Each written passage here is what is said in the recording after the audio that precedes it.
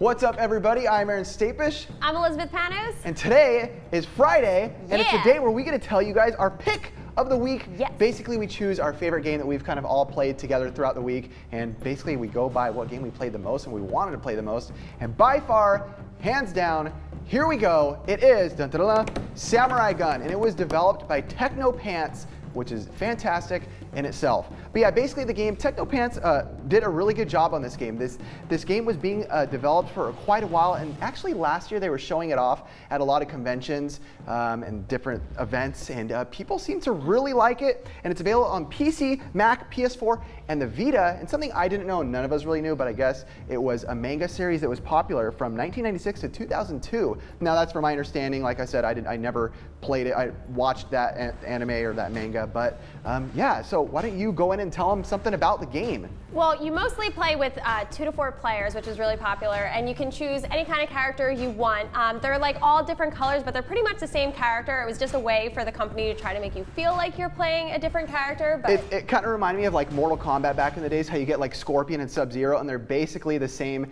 characters but with palette swaps. Mm -hmm. But that's cool. I mean, it, they, I guess they had to decipher a way that you can, you know, pick your team, so to say. Oh, speaking right. of teams, what oh, happens yeah. if you pick the same player? We didn't know.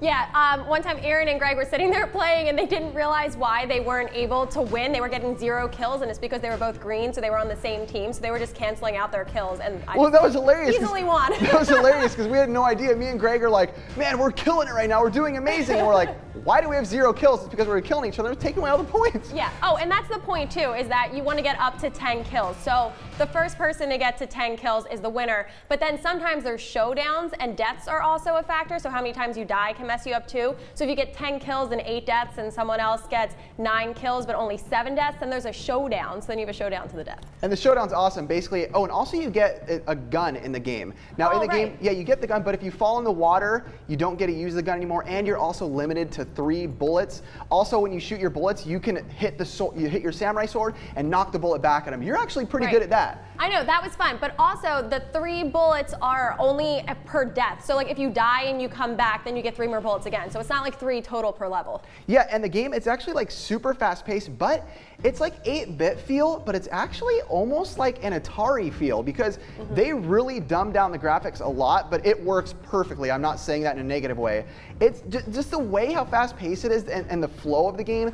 I feel like if they would have made it more realistic or even like a bit more of a, of a real feel, it just wouldn't have felt the same as it does. The music added to it too. The music was like really intense. At first when we started playing it, we didn't have the music because it was only coming out of the headphones, so we couldn't hear it. And we're yeah. like, oh, we're just playing the game. That's and then when you could finally hear the music, it was like, whoa, this is really intense. And it changes up for each level too, which is cool. Speaking of that, there's actually four main zones, which is the forest, the fortress, the graveyard, and the mountain. Now, with that said, it doesn't mean there's only four levels and you're not going to get bored of all four because each one, each type of zone, you can change what the level looks like. There's like six different layouts. Mm -hmm. the, we like the one where it was like all the bamboo and you have to whack I through the bamboo that. like crazy. That was fun. It's like a little maze. But yeah, do you have anything else to say about it? I think that's all I really got to say about I it. I loved it. It was definitely my favorite game of the week. I can definitely see why we all picked it as the pick of the week. I loved it. Yeah, highly recommended from all of us here at The Grid Gaming. And also, you guys, the game is just $14.99. We did pick it up on Steam awesome. and have been playing it on our PC nonstop. I actually think I'm going to be playing it tonight, even though we have. Do you uh, want to tell them about how I beat you and Adam?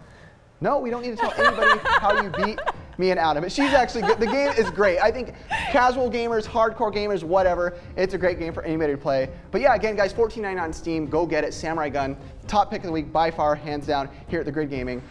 Yeah, and uh, enjoy your, your weekend, you guys. Yeah, Go July 4th. Go eat some hot dogs and hamburgers. hamburgers and play some Samurai Gunn. yeah. But all right, you guys, again, I am Aaron Stapish. I'm Elizabeth Panos. And we'll talk to you guys again here soon at the Grid Gaming. See, See you guys later. Bye.